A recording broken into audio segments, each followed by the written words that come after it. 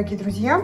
Сегодня у нас такое видео не совсем обычного формата, это новый для меня формат, я никогда так не снимала, поэтому, пожалуйста, будьте снисходительны, если что-то вам не понравится или что-то будет как-то не очень технически хорошо сделано, я просто хочу попробовать что-то новое, интересное, и я сегодня буду лицом за кадром, то есть голосом за кадром, что я редко делаю, я обычно сижу в кадре своим лицом, э, работаю, так сказать. Вот, но сегодня попробую по-другому. Я хочу вам показать мои украшения, которые я покупала в магазинах секонд-хенда. Это не винтаж, это не, не что-то такое ценное. Это просто вещи, которые я вот... Я иногда захожу в секонд-хенд и с интересом разглядываю украшения лишь, лишь только потому, что Э, я понимаю, что это как бы украшения, которые можно найти только в, в единичном экземпляре, как правило. Возможно, это тоже когда-то было в масс-маркете, но очень давно, и с тех пор люди уже их как бы поносили, принесли, сдали в секонд-хенд. И вот в, в этом смысле как бы это украшения э, оригинальные и э, аутентичные, я бы так сказала, потому что вы не увидите их на каждом втором. Вот. Я решила сегодня вам их показать, у меня их не очень много, но вот вы видите такая кучка. И прежде чем я начну, я хочу очень-очень-очень извиниться за... Я буду тут руками показывать что-то. У меня ногти в совершенно ужасающем состоянии, потому что, как вы знаете, все сейчас закрыто. И а у меня гель-лак. И как это исправить самой на дому, я, если честно, не знаю. Я пытаюсь вот найти в интернете какие-то советы. В YouTube пока что не нашла ничего такого, что для меня приемлемо. Вот, поэтому, пожалуйста, простите меня и, пожалуйста, не обращайте на это внимания. Я хотела дождаться, пока все откроется, чтобы показывать вот эти вот украшения, но бог весь знает, когда все откроется, поэтому и будем а, сквозь пальцы смотреть на мои пальцы, так скажем, да. Все, давайте будем смотреть, и вот эта вот кучка, я сейчас вам буду по очереди все показывать. Первый лот, это такая брошечка. Я вообще мало ношу брошки, но иногда попадаются такие симпатичные экземпляры, что я э, как бы покупаю их больше даже для коллекции, чем для носки. Я тут пытаюсь как-то пристроить свою камеру, чтобы было лучше видно, чтобы был фокус, потому что это новый для меня формат, и вы же не судите строго. Я тут подставила какую-то коробочку, чтобы это было ближе, и было ближе к камере, и было бы лучше видно. Брошечка очень такая смешная, забавная. Если вы видите, это сюжет. Здесь такой сюжет. Кот пытается выудить рыбку из аквариума. И э, в качестве аквариума такая пластиковая, не думаю, что это стекло, пластиковый такой, как кабошончик, и в него встроена а, рыбка такая золотая, вот, вроде как аквариум, там какие-то водоросли внизу, вот, сделан такой столик и кот, который стоит на задних лапках и пытается эту рыбку выйти. Ну, вы сами видите, очень прикольная вещь, такая, знаете, забавная, сюжетная, и мне она нравится, иногда я надеваю под настроение, и, в общем, э, нравится она мне, я увидела ее и не стала особо заморачиваться, она там винтажная, не винтажная. Естественно, она не винтажная, но она просто очень забавная и мне понравилась. Еще одна такая милейшая вещица, ну, сумочка. Брошка-сумочка. Ну, тут я не смогла устоять, потому что сумки это наше все. И, а тут брошка-сумка, плюс она не сумка, сумочка, она малюсенькая, малюсенькая, махонькая совсем, но очень изящная, очень симпатичная. И вся вот этих розовых э, кристалликах, ну, как бы что же еще желать от брошки для девочки, которая любит сумки, и любит блестки, и любит все блестящее, такое, знаете, э, жизнерадостное и веселое. Ну, в общем, конечно, я не удержалась, тоже ее купила, потому что она милейшая вещица и такая, знаете, забавная, очень женственная такая игривая, я бы сказала. Я обычно ношу ее, знаете, вот э, на что-то такое, на джинсовую куртку, вот что-то такое, что как бы, как бы уравновесить вот это мимимишное, сумочное, розовое, кристальное, э, милоту вот эту вот с чем-то более таким брутальным, вот, поэтому я как бы джинсовую куртку считаю, что достаточно подходящий для нее фон. Следующая вещь это серьги, э, они из такого, знаете, состаренного золота, а внутри вот этот кабошон, это как бы, по-моему, это стекло, потому что, вы знаете, они довольно тяжелые, если бы это был пластик, они бы были легенькие совсем, и я хочу вам показать, что они, простите еще раз мои ногти, как они выглядят сзади,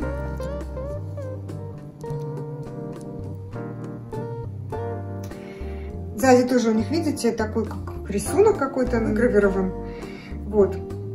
Интересная вещь. И очень мне нравится. Они очень такие, знаете, они выглядят как старинные. Они, конечно, никакие не старинные, я понимаю, но Выглядят они довольно...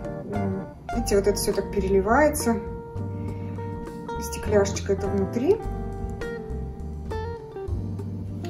Симпатичные очень серьги. Выглядят как будто под винтажные, под старину. И, в общем, довольно такие универсальные. С чем хочешь их можно носить. Они, они очень такое, знаете, состаренное золото. Не яркое, не блестящее золото, а такое немножко старинное. Вот. Ну обычно такая висюлька в ухе не очень тяжелые, но такие ощутимые по весу, поэтому я думаю, что это стекло. Следующие серьги, это одни из моих любимых, вы, наверное, меня видели в них, я в них часто снимаюсь. Тоже они выглядят как будто под винтаж, но я тоже думаю, что это не винтаж, потому что никаких маркировок на них нету, ничего нету. И, в общем, все это было куплено, ну, за сущие там копейки, типа доллара, два-три и так далее.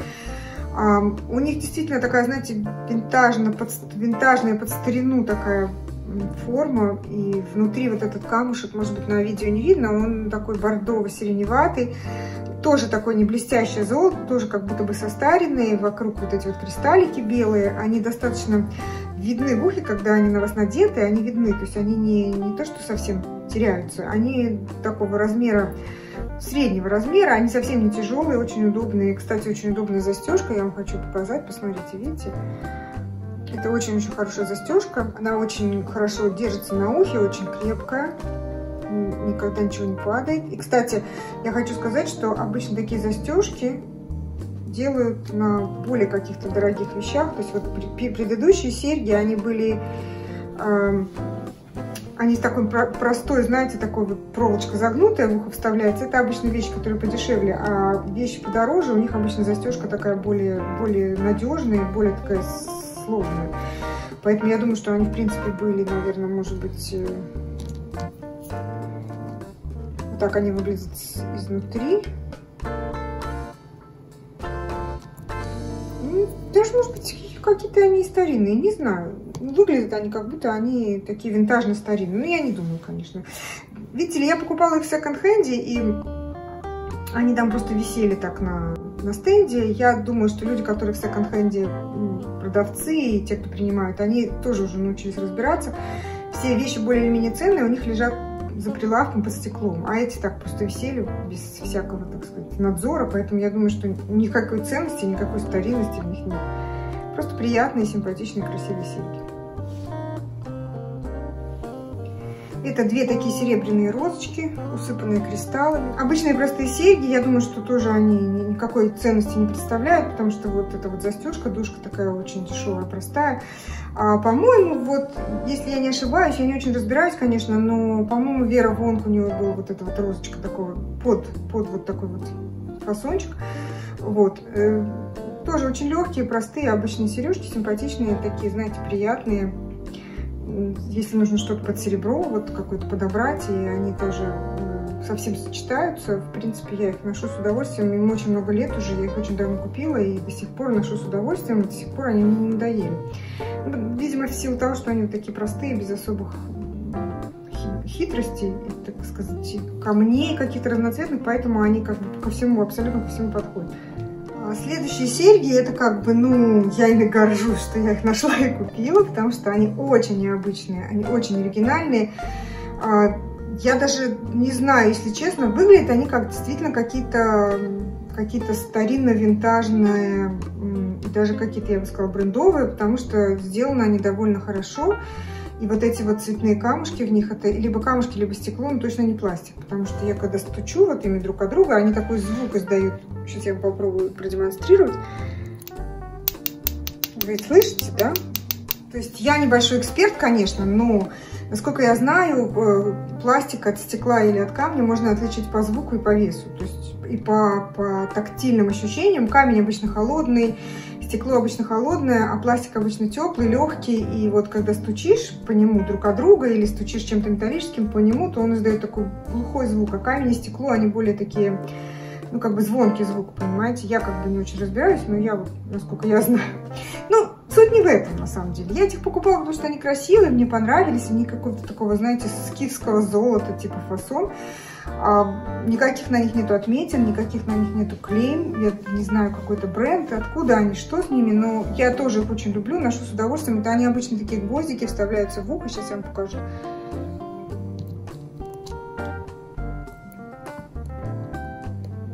Видите, вот э, обычный гвоздик, но по своей красоте и по универсальности, поскольку в них так несколько цветов, они очень подходят, э, очень много к чему. И золото, опять же, такое, знаете, не блестящее, такое вот дешевое, а такое какое-то матовое такое золото. Ну, в общем, не знаю, выглядят они, эти серьги, как что-то такое эдакое. Ну, в принципе, конечно, стоили они 2 доллара, я не думаю, что это что-то эдакое, но хотя бы вид, вид делают как будто бы. То есть я понимаю, что нет у них небольшой ценности, но выглядят они как какие-то такие дорогие, достаточно такие красивые винтажные серьги.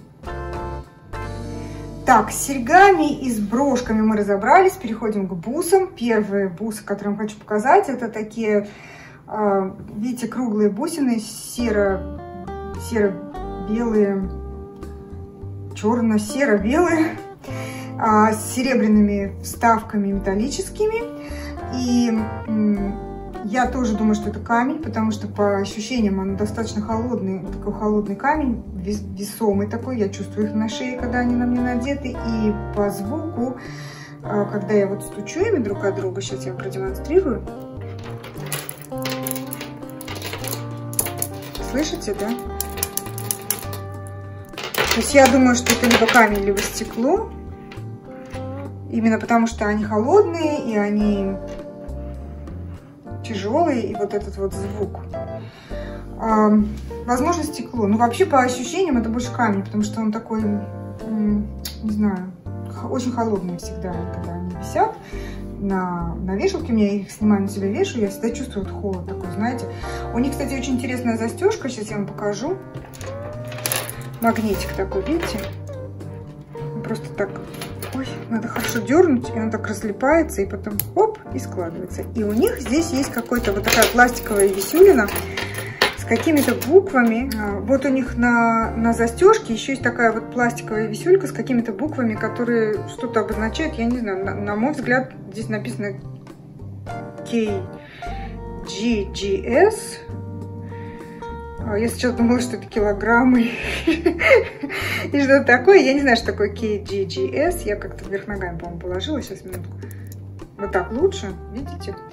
Ну, я не специалист, не знаток, ничего не понимаю в этом. Если кто-то знает, напишите мне, что это означает. Это какой-то бренд или что это. Я никогда не встречала такого, я не знаю. Может быть, какой-то залетный, не канадский, не, не американский, поэтому я с ним не знакома.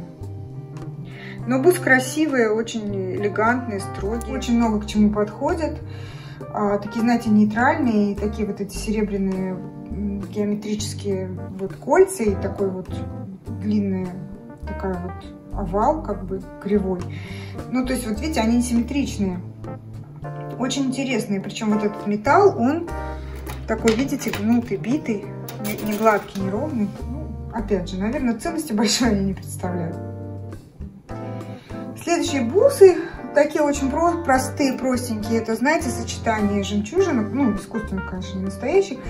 И такой черного, черной такой бусины плоской, э, обрамленной в золотом металле, две нитки. Э, они вот такие вот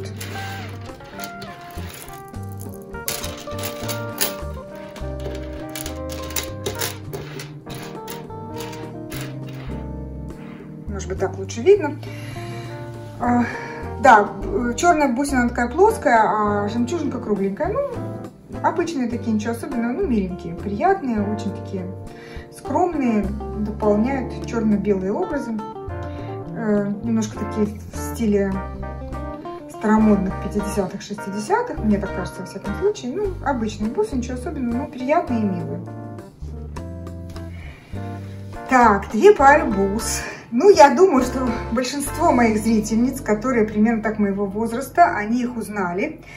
А, я не знаю, конечно, откуда они приехали в Канаду. Я очень подозреваю, что из бывшего Советского Союза, потому что в одно время эти бусы были вообще ну, пик, на пике моды.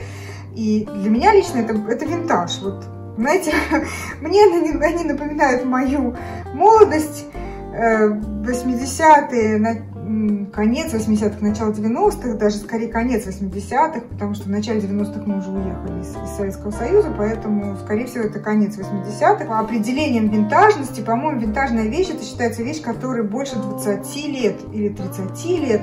Но если это конец 80-х, то им уже вот э, за 30 этим бусам. Так что я смело могу их назвать винтажными, хотя, конечно, ну, в общем, вы понимаете, что я шучу. Вот. А, вы все помните, конечно, вот эти вот было миллион разных бус из натуральных камушков, осколков, которые собирались вот в такие нитки. Они были всех цветов, всех камней. Вот одна нитка это такие разноцветные из разных камней, а вторая вот эта зеленая, нефрит, наверное, я не знаю. Здесь всякие всяческие разнообразные. А ценности, конечно, они тоже никакой не представляют, но для меня они какую-то такую, знаете, вызвали у меня такую волну ностальгии, которая ну, в общем, захотелось мне их принести домой и оставить у себя, потому что у меня когда-то были такого типа бусы, они, наверное, у всех были в бывшем Советском Союзе, но при переездах и перевозках они куда-то задевались, не то кому-то их отдала, не то что, поскольку они абсолютно вышли из моды и как бы считалось э, каким-то таким мовитоном даже таких носить. Ну а сейчас здесь, в Канаде, никто не знает на самом деле их происхождение никаких ассоциаций не вызывает ни у кого, кроме как то, что это вот какие-то камушки разноцветные, натуральные, и в принципе так, э, ну, выглядит достаточно весело и живенько. Я их обычно так и ношу, вот две нитки вместе, э, ну, зависит от того, с какой одеждой, поэтому э, зависит, да, от с какой одежды. И, кстати, в прошлом, в прошлом сезоне я купила в Заре серьги, которые удивительно подходят к, этим, к одним из этих бус. Я сейчас покажу, секунду. Вы только посмотрите. Вы только посмотрите. Я когда их увидела, я подумала, о, я же их могу сочетать прекрасно вместе. Такое летнее разноцветное, прекрасное, знаете, сочетание. То есть вот серьги тоже. У них, правда, есть жемчужинки, которых нету на бусах. Ну ничего, в принципе, нормально, я думаю.